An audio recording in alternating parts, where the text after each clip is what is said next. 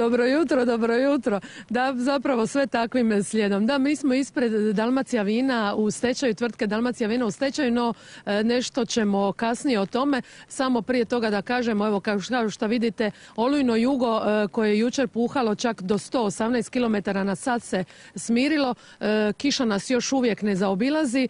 Treba kazati da se uspostavljaju jučer prekinute trajektne i brodske linije sa našim srednjodalmatinskim otocima, a čestutke upućujemo i helikopterskoj službi koja je jučer zbog takvog vremena e, pohitala na Brač po jednu bračku trudnicu i kako jutro doznajemo možemo čestitati mami i bebi e, koja je dobroga zdravlja. Evo, e, kao što ste rekli, mi smo ispred Dalmacija Vina na stečaj. Ja ću zamoliti stečajnog upravitelja Pericu Mitrovića. Evo, možemo, možete vi, Lumbrel, kišobran, da. Ja ću biti kavalir, dobro jutro svima. danas je u 9 sati na Splitskom trgovačkom sudu 11. stečajno ročište. prodajete se prvi put nakon tri godine, prvi put je uplaćena jamčevina. Točno. Naime, društvo Oštrec DO u vlasništvu gospodina Marinke e, Zdradre uplatilo jamčevinu u iznosu od milijun kuna. Ono je jedino uplatitelj i samim time znači da će današnja cijena od 70 milijuna i 500 tisuća kuna biti ta cijena za koju će društvo Oštrec kupiti Dalmacio vino. Posebno ću napomenuti da je gospodin Marinko Zdradro većinski vlasnik Viro Grupe.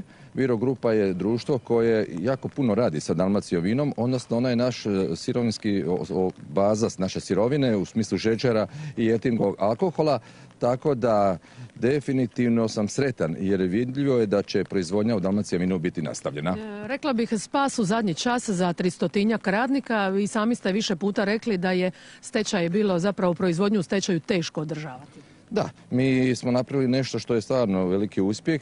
Nakon dvije godine prije stečaja, odnosno nakon dvije godine, prije dvije godine stečaja nije bilo proizvodnje. Uspjeli smo tri godine održati proizvodnju i to je ovog trenutka po meni najbitnije. Naime, znamo koliko je teško i bilo kakvu proizvodnu pogon, odnosno proizvodnu jedinicu održavati. Ukoliko, a nesporno je da hoće, se proizvodnja nastavi, to će biti uspjeh za sve nas ovdje. Hvala vam lijepa. Evo, dakle, o svemu ovome ćemo izvještavati u našim ostalim informativnim emisijama, a mi se vidimo nešto kasnije.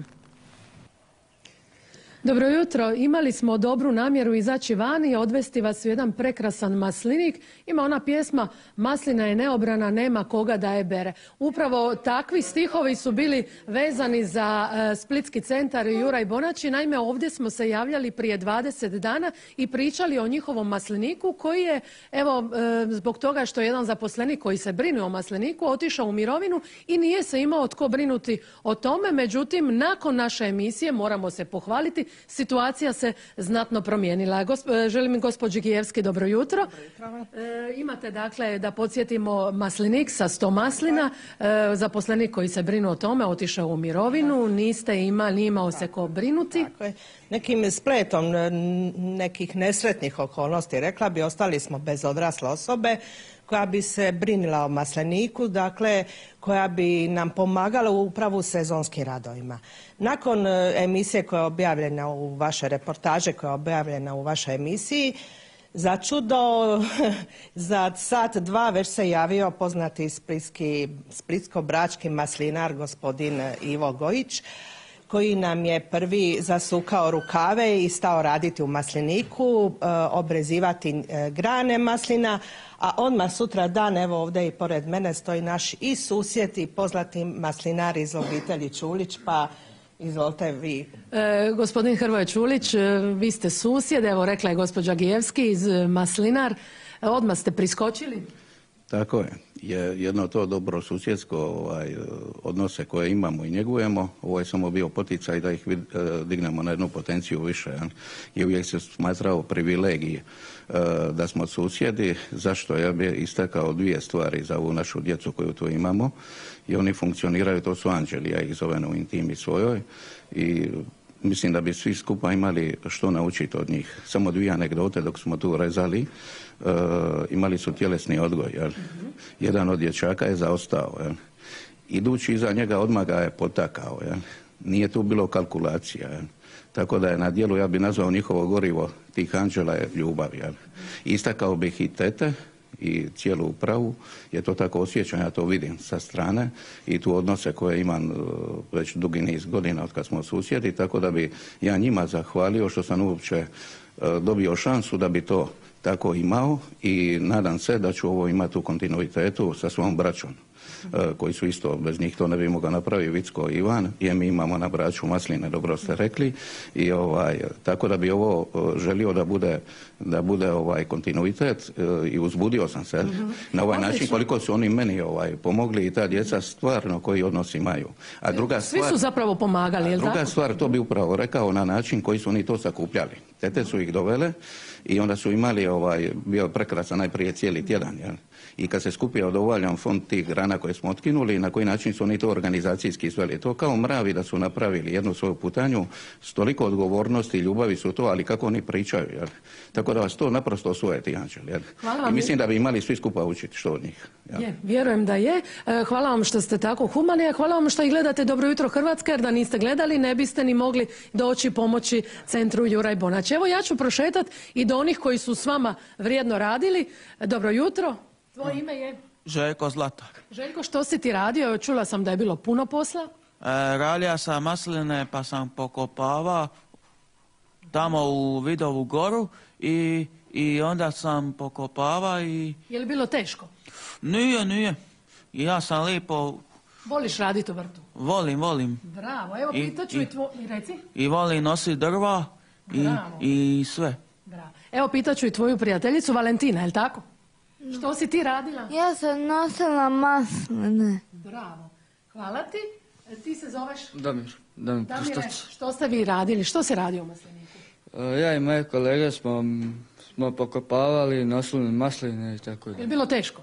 A je, dosta, malo. Dosta. A jeste li probali kad ulje iz maslinika? A jesmo. Kakvo je ulje? A lipo. Lipo. Krasno. Hvala ti, evo rekli su mi i tvoji prijatelji Valentina. Ti si Valentina, jel tako? I ti si radila? Mogu li do tebe? Evo ga, šta si ti radila? Evo dođi mi, samo reci šta si ti radila. Kratko. Da. Ti si nešto pisala. Je, jesam. Pisala ti nešto? Da, pisala sam.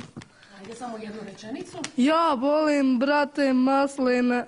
Ja volim, brate, najviše jesenske plodove od maslina. U masliniku su, u masliniku Masline su zdrave za razvoj organizma. Hvala ti lijepa. Evo sad mi šapću da sam pogriješila ime, ti si Kristina. Da.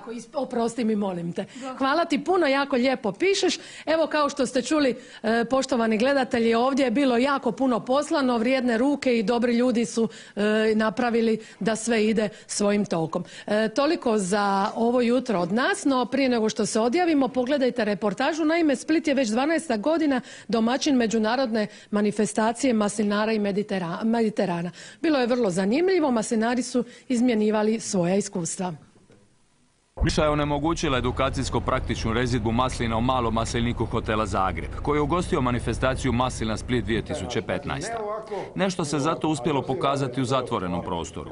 Maslinari često znaju pogriješiti i potpunu rezidbu maslina obaviti prerano. Maslinari počnu rezati već u 12. mjesecu, odmah nakon praktički nakon berbe počnemo rezati. Ali to je greška.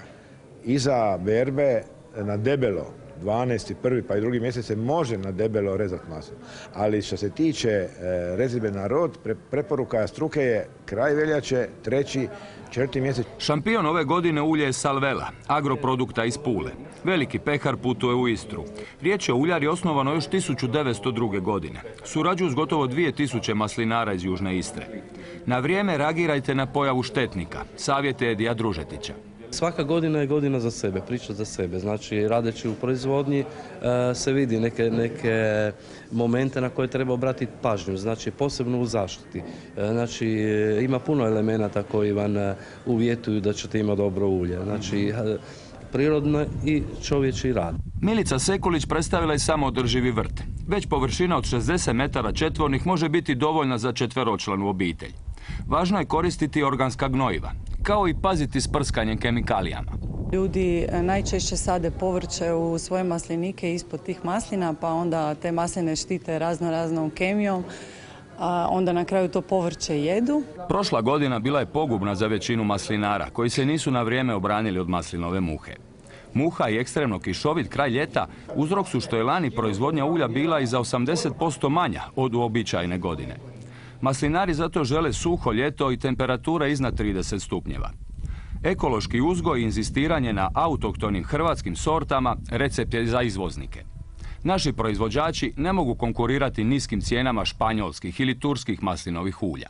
U Europu moramo ići e, našim sortnim maslinovim uljima. E, to su sorte koje nigdje u Europi nema.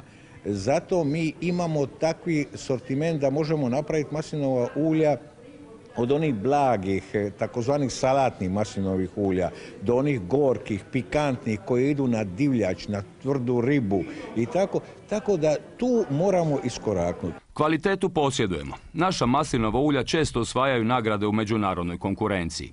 Savjet svakom maslinaru od stručnjaka sa splitskog skupa jest što manje otrova i herbicida, a što više provedenog vremena u masliniku.